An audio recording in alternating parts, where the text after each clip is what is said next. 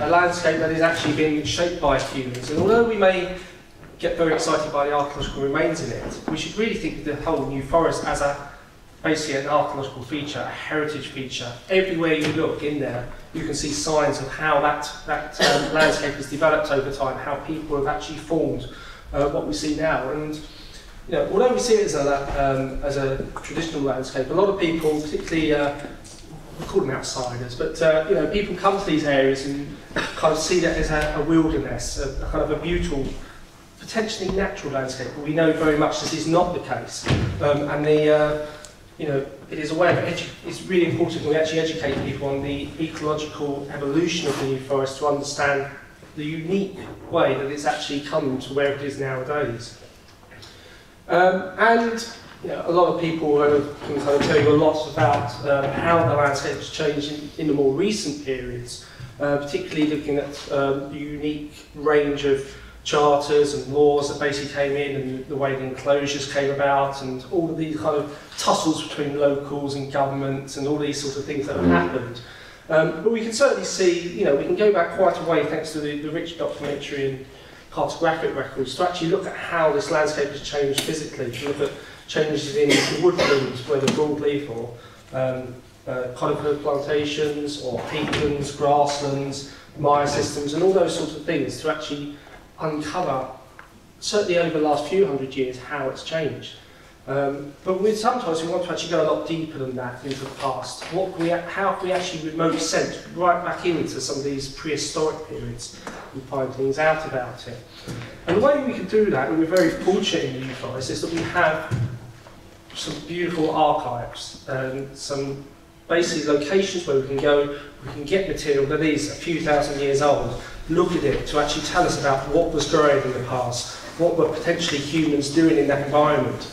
And although it may be a curse to certain people, the, uh, the valley and the seepage mires, which are distributed across much of the forest, hold these important archives where you can go out, take a corer, push it down into the into the sediments and then pull it up. So this is from Churchmore in of Boldwood Drive, where you can get these laminated clays and silts and then all interbedded organic deposits within there. This one, this little deposit in here is around uh, 12, 13,000 years ago. Um, but you can go into these bogs and actually get a sample out of it and then actually look Well, do these tell us something about the last few hundred years? Or in some cases, these, these records go back several thousand years. Or if you really want to be, excited, uh, be lucky, you can go down to places like Stone Point and Pennington and go back hundreds of thousands of years, really into our previous interglacials and really into our Paleolithic record by looking at these organic deposits. And the reason we are interested in those is that the organic deposits the peats, because they accumulate slowly over time, they trap material, they can trap things like pollen, charcoal, they actually preserve the plant remains, so you can actually go and see how has that ecology changed over time. And therefore we can actually start to understand what is what happened in the past. So the two main things we've always looked at in these bogs in the past are things like pollen grains, so hay fever sufferers will know all about these, or certainly know we are very good at sensing when they're around in the atmosphere. Uh, but you can look at things like oak and lime and um, polypody and things like that, and you can actually extract these from the bogs, look at them under a microscope and see how does uh, the abundance of these change as you move up and down through a sequence to, to then infer how the ecology has changed. And you can actually look at the composition of the bogs themselves. Um, so we have a lot of our bogs are very sphagnum rich. You can look at those, take the leaves out, look at the very fine cell structures in there, look at some the other plant remains in there, and that can tell you about the conditions. You know, so you can look at things like, are we getting increase in, wash? Are we getting a climatic signal because the plants are in situ uh, uh, with the kind of climatic conditions, or sorry, in equilibrium with them? And we've actually been lucky that a lot of work has been done in the New Forest over the last 60, 70 years. So particular sites such as Cranesmoor have been investigated right back to uh, people like Harry Godwin, students, Stanley Seagrief came out here and worked on here. Um, and we've got a range of um, sequences. The blue ones here are the dated kind of bulk sequences that we have. And then we have these triangles here where people have actually been able to go undertake archaeological excavations and then underneath these monuments or banks or barrows or whatever it is, you often get a preserved um, soil horizon. And that, because it's been basically built and put underneath a monument, it becomes um, anaerobic, you get no oxygen down there, organics don't break down, therefore you can actually start to extract pollen uh, and charcoal and other remains from there to actually look at where if we have a Bronze Age feature, what was this, what was actually on that soil at that time. So we can, we've got a rich kind of um, assemblage of uh, data sets we can go through. So in this talk, I'm just going to go through some kind of highlights of the work to kind of give you a kind of an overview of what we know about the forest from the ecological background that may actually, does, this is actually match our understanding, or our popular understanding of what happens in the New Forest, which is often major clearance during the Bronze Age, then we have the medieval, medieval periods, we have the Romans somewhere in the middle, but that's always slightly unsure what is actually the environmental impact of those sort of things right, back, right up into the modern day. So if we go to um, one of our kind of longest sites and the most uh, studied sites, which is Cranesmoor, which is just to the west of Burley, we have in the centre here a very large um, valley system with um, up to five, six metres of peat within it. And um, a lot of work's been done on coring across here to actually understand what is the structure of the bog. And what's quite interesting is you have, coming, coming from the ridge, you have river flow kind of coming through here, heading down towards the Avon. But you have in this area here a very sheltered part of the bog, which, hasn't, which is actually quite detached from catchment changes. And we've been looking at um, the plant remains in that, and actually find that potentially this, this site actually became, during the Mesolithic period, a raised bog.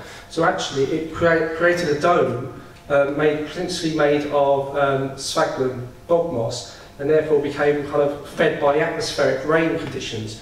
And the nice thing with that is then suddenly, when it's in, in tandem with the atmosphere, we have a very nice paleoclimatic record where we can actually go back and say how has the um, how has the climate in the New Forest actually changed over a period between around 11,000 and 5,000 years ago.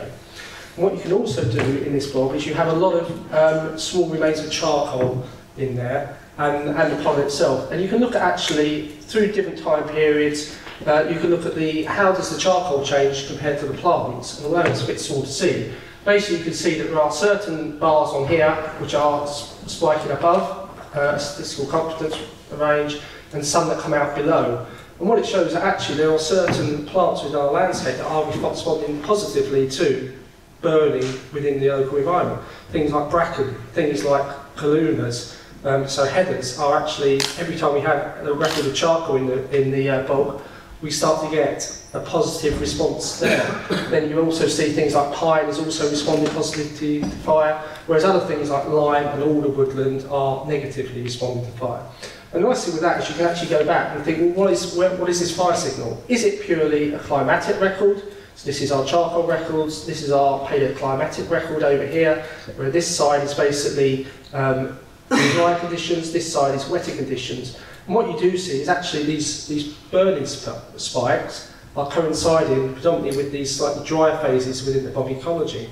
So we have, quite interesting at Cranesmoor, periods of burning during periods of increased drier climates, and therefore we have, potentially in the New Forest, in the Mesolithic period, either people are opportunistically able to use fire as a land management technique during these dry climatic periods, or we actually have a, a natural fire um, signal within the, um, the forest which is basically helping to control things like the early pine conditions and then later things like hazel and oak woodland and things like that. It's very difficult to actually disentangle the archaeological site and an actual system, but certainly they could be moving in tandem. We, at least we've got evidence that if you look at elsewhere in England, things like Star Car, Kennet Valley, you have very clear evidence of mesolithic people using fire to deliberately manage their landscape. So we may be sensing some of this kind of pre-Bronze Age landscape management that we didn't ever really kind of see from the UFRs before. We can then move on through the kind of the timescale. So from this kind of early Holocene, we start to see the arrival of our deciduous woodland, our oaks, our hazel, eventually things like particularly lime woodland. And lime woodland is very interesting because um, it basically it responds to human activity. So you start to lose lime from your lime woodlands from your landscape when people come in and undertake deliberate land, land clearance, particularly kind of taking it out to promote other, other trees, um, or to actually just for clearance for agriculture activities. And it's also particularly susceptible to very high grazing pressures um, because it's, it's often kind of been cut and produce, um, produce fodder and things like that. So what we can do is we can actually start to look at some of our bog sequences to see what can actually tell us about changes in the lime woodland and loss of the lime woodland that could therefore infer local scale clearance activity. So if we go to Barrowmore, which is in uh, off, off Bolderwood, we can see certainly in the, in the early Bronze Age, we start to get a loss of, uh, start to get reductions in this uh, woodland, but it's not really until the late Roman, early Anglo-Saxon period when it completely disappears from the record. Conversely, if you go for, um, a bit closer to Lyndhurst, um, near Gritnam, so if anyone knows the oak at Gritnam, it's literally right next to the pub, which is always very nice if you go and do some work. Um, we start to see changes in it in the late Bronze Age, early Iron Age, but actually we see a, potentially a continuation of lime woodland in that area up until the uh, 20th century. And it's very interesting that this is the site that's closest to Lyndhurst, so if you think about the name, potentially it's actually giving us evidence of where place names are also coming from, which you do have Lime and, um, and Lynn and those sort of names turning up quite often in the kind of uh, place names in the forest. We can then go right down to the southeast area, so Nonesbog, which is um, off near Gibbon Purley, where we have a fragmentary record of lime, but potentially it actually shows it actually continued in small areas, particularly on the kind of uh, um, these kind of node areas in there, of where you find lime today, that actually you have continuous woodland cover all the way through, so potentially kind of quite low impact, and then if we go up to um, Breaks Breaks Bottom, which is just next to Sloden Enclosure in the north of the forest, you can see actually, although we start to get some early Neolithic uh, modification for landscape, it's not really until the Iron Age and the Roman periods that actually you get that kind of major clearance occurring. We can also look at things like heathland development. And heathland is a really interesting thing because it is a cultural landscape. It's something that anyone that goes across the forest will often see burn to actually maintain the heathland so it doesn't get colonised by um, things like um, holly um, and birch woodland and things like that, which will then eventually lead to kind of recolonisation by woodlands. So heathland is very much a cultural landscape, and it's very important to the forest, but actually understanding when it occurred is very difficult. Um, but we can go back to the pollen records again to actually see are we getting spatial variations in it. Um, because often popular literature will always say it's Bronze Age clearance, therefore we get heathlands from the Bronze Age onwards, but actually it's a lot more complex than that.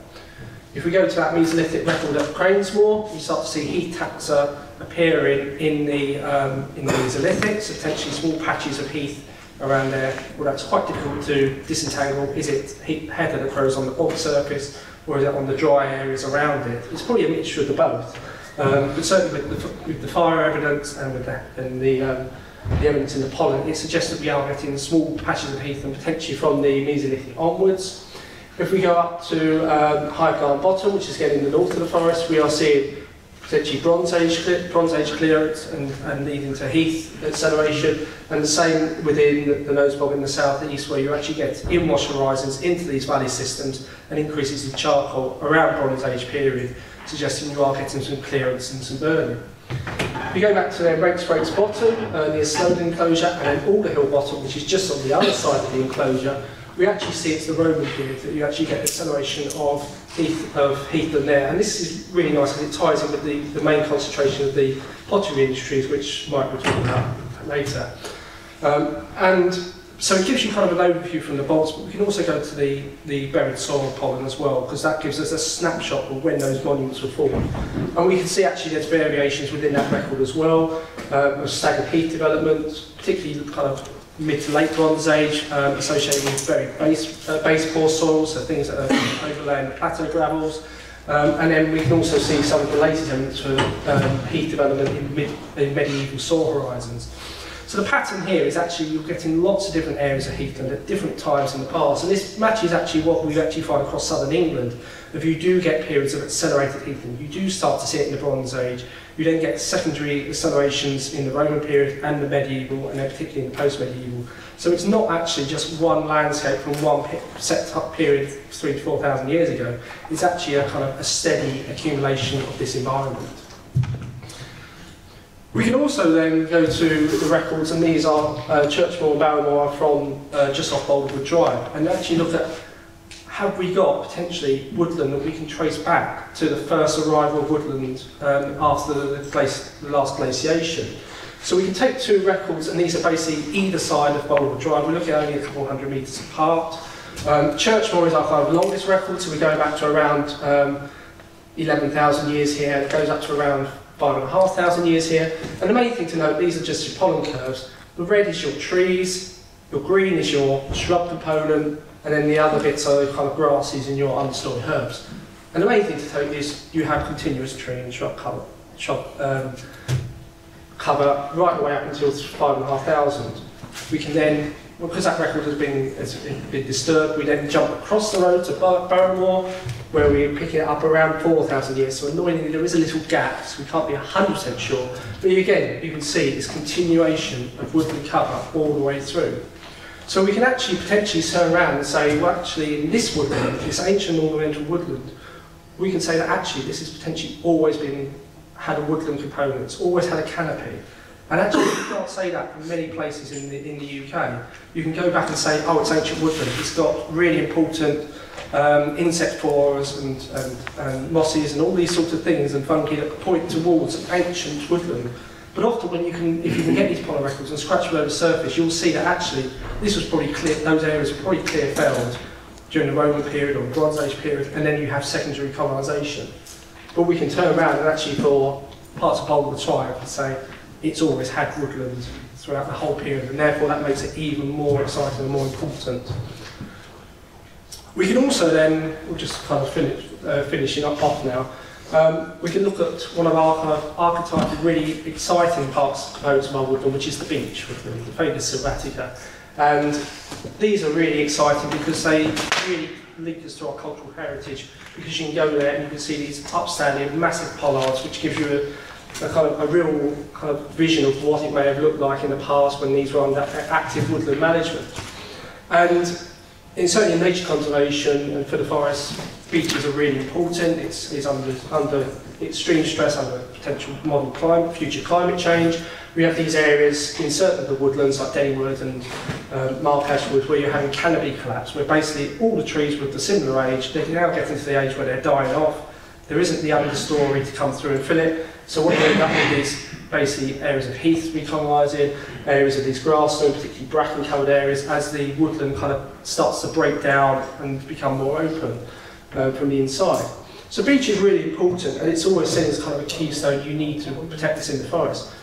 And we have some, what we call, modern ecologists call long-term records of going back a couple of hundred years where you've actually got detailed vegetation surveys.